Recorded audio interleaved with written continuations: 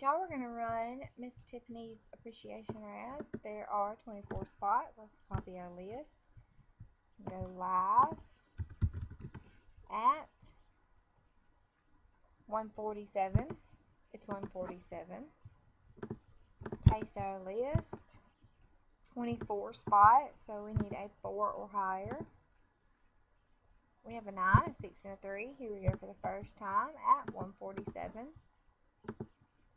After the first time, there are 24 items on the list. Age is on top and team is on bottom. The dice calls for a 9, so here we go at 147. 2, 3, 4, 5, 6, 7,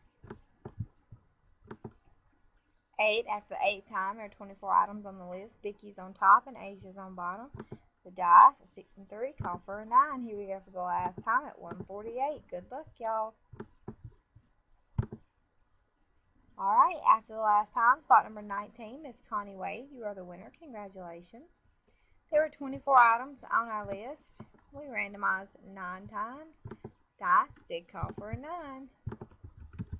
We are done at 148. It's 148. Congratulations to spot number 19, Miss Connie Wade.